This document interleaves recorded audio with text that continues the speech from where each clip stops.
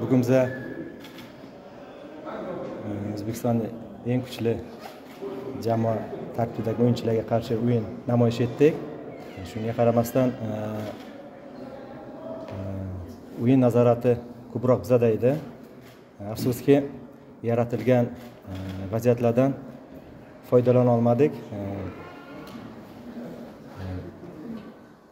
Shu shu sababli bugun navbahor jamoasi bilan nursiz durang o'ynadik.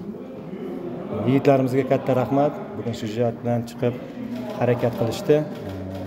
Deyarli raqibga imkoniyat bermadi gollik vaziyatlarga. O'zimiz yana bir takrorlayman. Vaziyatlarimizdan golga aylantira olmadik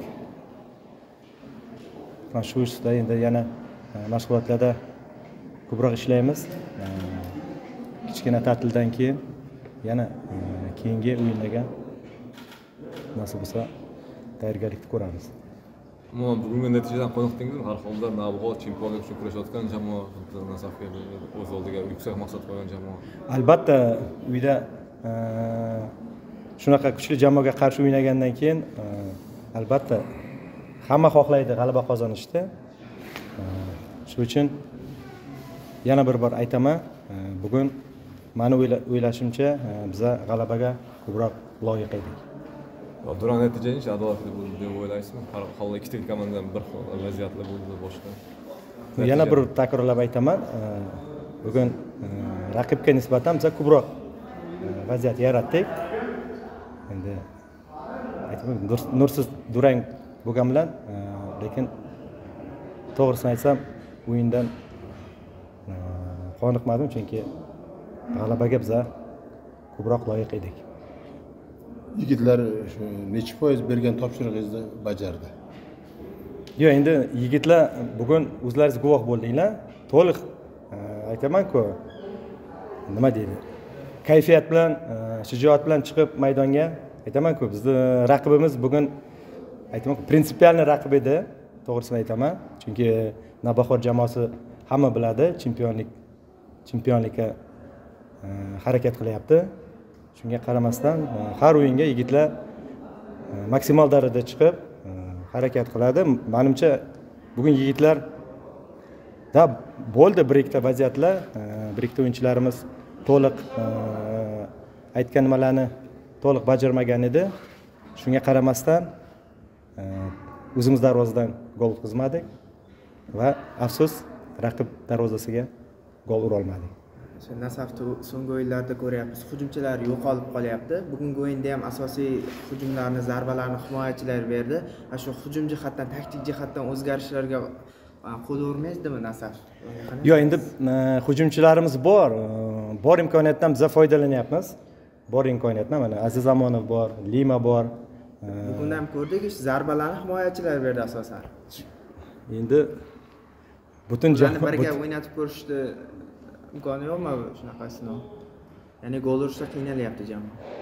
Yo'q golda urishda biza qiynalganimiz yo'q. Просто aytamanku. Agar gollik vaziyatlar bo'lmaganda edi u boshqacha bo'lardi.